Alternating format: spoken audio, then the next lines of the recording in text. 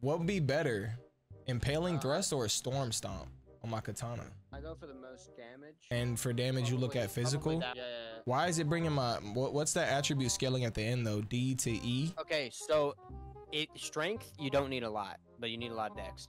But since you have like high dex, like okay, let's say you have high strength and high dex. The the better it is at the bottom, the attribute scaling, the higher your level is, the better damage it does and stuff. Yeah. Yeah, let's say you have 12 strength and 12 dexterity, and you hit a motherfucker for 115 damage or some shit, right? And then you do the, you know, the attribute scaling. You level up strength and dexterity. It then increases how much damage you do. So should I do standard or keen? Uh, depends which one you which one you looking at. What? Okay. So keen means that you need more dexterity, and it brings down your strength. So you need to increase the dexterity instead of strength. okay. Essentially, like if you have a high dexterity, it'll go faster and do more damage. But if you have a high strength, it won't do shit. Got it.